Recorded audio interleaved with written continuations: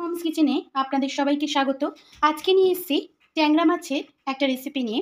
ট্যাংরা মাছের অনেক রকমের রেসিপি আমরা খেয়েছি, ঝাল, ঝোল। আজকে নিয়ে এসেছি ট্যাংরা মাছের তেল ঝাল দিয়ে। খুব অল্প তেল মশলায় কিন্তু আমরা এই রেসিপিটা করে নেব। দেখ মাছগুলোর মধ্যে প্রথমে লবণ নিয়ে নেব হলুদ গুঁড়ো। ভালো করে লবণ আর হলুদ মাখিয়ে মাছগুলোর মধ্যে খুব সামান্য পরিমাণে কিন্তু তেল দিয়ে নেব। গায়ে সামান্য সর্ষের তেল মাখিয়ে নিয়ে যদি ট্যাংরা মাছগুলোকে ভাজি, তাহলে কিন্তু ফোটবার চান্স থাকে না। তার কারণে একটা মশলা তৈরি করে নিচ্ছি। এর জন্য এক টেবিল স্পুন ধনে গুঁড়ো নিয়ে নিলাম। এক টেবিল স্পুন জিরে গুঁড়ো নিয়ে নিচ্ছি। নিয়ে নিচ্ছি কাশ্মীরি লঙ্কার গুঁড়ো হাফ টেবিল স্পুন আপনারা কিন্তু এখানে শুকনো লঙ্কার গুঁড়ো ইউজ করতে পারেন, আমি ইউজ করছি না। দিয়ে দেব কিছুটা পরিমাণ হাফ টেবিল স্পুন হলুদ গুঁড়ো। এই সমস্ত উপকরণগুলো দিয়ে এর মধ্যে কিন্তু জল দিয়ে ভালোভাবে মশলাটাকে গুলে নেব। কিছুটা পরিমাণ জল দিয়ে দিলাম। জল দিয়ে ভালোভাবে মশলাটাকে একটা পেস্ট বানিয়ে নিচ্ছি। একটা মিহি পেস্ট বানিয়ে নিলাম। এরকমভাবে আমরা যদি বাটা মশলা ইউজ না করি, এরকমভাবে মশলা আগের থেকে গুলে রেখে দিই, তাহলে কিন্তু তার টেস্ট খুবই সুন্দর আসে।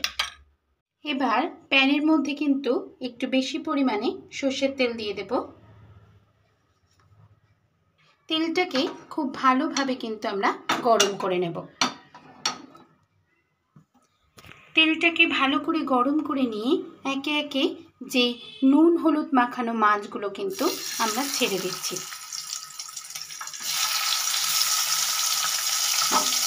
দুটো পিস ভালোভাবে ভেজে নেব।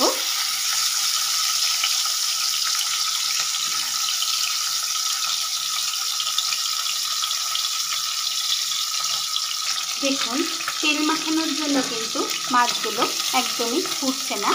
এবার একে একে মাছগুলো সমস্ত উল্টে নিচ্ছি।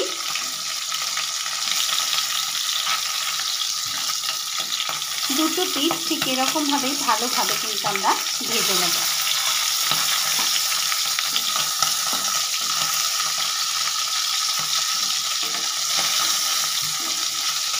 কিন্তু আমাদের ভাজা হয়ে গেছে। এবার আস্তে আস্তে মাছগুলোকে তুলে নেব।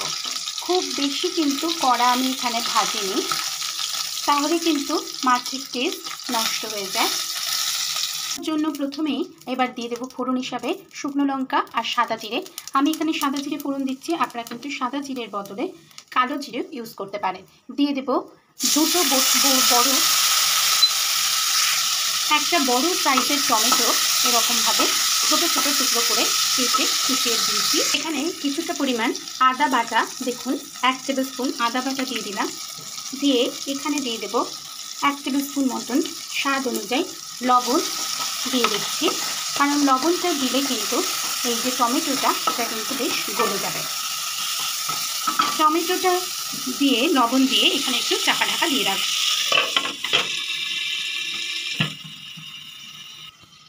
দেখুন, আমরা কিন্তু এবার চাকা ঢাকাটা তুলে নিচ্ছি। আমাদের কিন্তু টমেটোটা বেশ সুন্দরই গলে এসছে।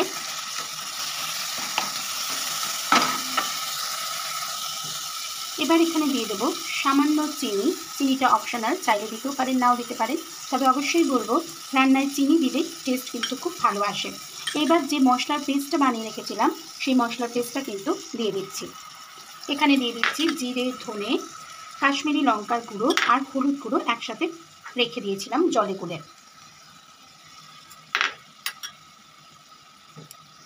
খুব সামান্য হলুদ গুঁড়ো আর একটু দিয়ে দেবো। লবণ দিয়ে দিচ্ছি। দেখুন, মশলাটা কিন্তু বেশ সুন্দর কষে আসছে আর এর থেকে বেশ সুন্দর তেলও বার হচ্ছে। এখানে দিয়ে দেবো খুব সামান্য জল।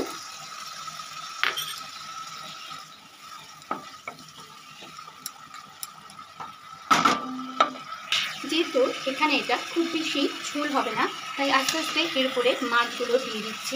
মাছগুলো দিয়ে এই মশলাটার সাথে কিন্তু ভালোভাবে মিশিয়ে নেব।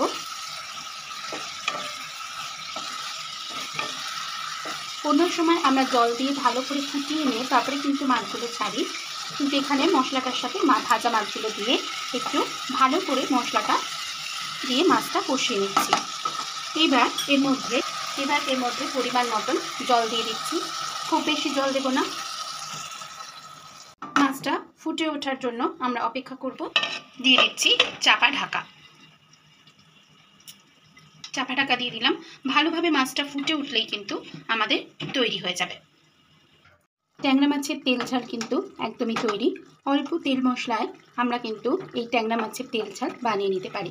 আমি গরম ভাতের সাথে এই ট্যাংরা মাছ দিয়ে তেল ট্যাংরা কিন্তু অপূর্ব লাগবে খেতে। একবার যেরকমভাবে বানালাম কম তেল মশলায় একবার এরকমভাবে বানিয়ে দেখতে পারেন। আশা করি ভালোই লাগবে। যদি ভালো লেগে থাকে তবে একবার লাইক বা শেয়ার করার অনুরোধ রাখলাম এবং আমার অন্যান্য রেসিপিগুলো দেখতে চাইলে পাশে থাকা বেল আইকনটি অবশ্যই প্রেস করে দিয়ে আমার চ্যানেলটিকে সাবস্ক্রাইব করে নেওয়ার অনুরোধ রাখলাম। আবারও চলে আসব অন্য কোনো নতুন রেসিপি নিয়ে আপনাদের সাথে শেয়ার করতে। বিভিন্ন স্বাদের মিষ্টি, মাছ, মাংস, নানান স্বাদের রান্না নিয়ে কিন্তু আমি হাজির হব। আবার চলে আসব অন্য কোনো নতুন রেসিপি নিয়ে আপনাদের সাথে শেয়ার করতে। সবাই ভালো থাকবেন, সুস্থ থাকবেন। ধন্যবাদ।